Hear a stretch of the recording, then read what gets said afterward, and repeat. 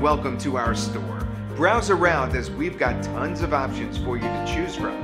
If you don't see what you're looking for, simply contact our support. We'll be happy to help you out.